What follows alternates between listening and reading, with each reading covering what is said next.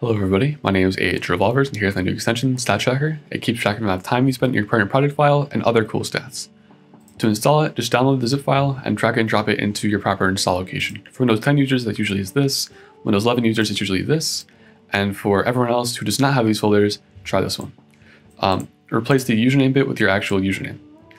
So once you actually installed it, make sure to close After Effects was open and open it. Uh, go to Window, Extensions, Stat Tracker, and it'll pop up can also dock it or you can undock it uh, to drag around wherever you want. And you can go to stats to see the extra stats, right?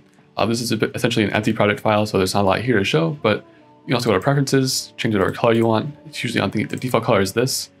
Um, and then change the color on Stat Tracker itself. You need to close it and reopen it.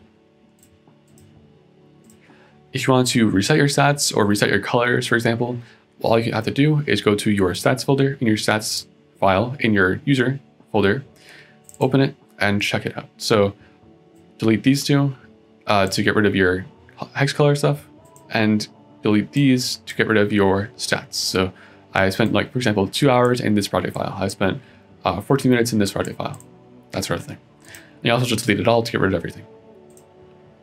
That's about it.